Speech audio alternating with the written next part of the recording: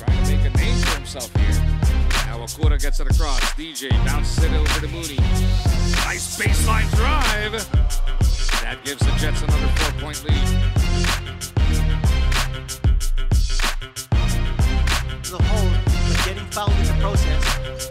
There's the screen, and then they try to pick it. Oh, easy two points. And Kelly Williams giving up the foul. DJ Stevens.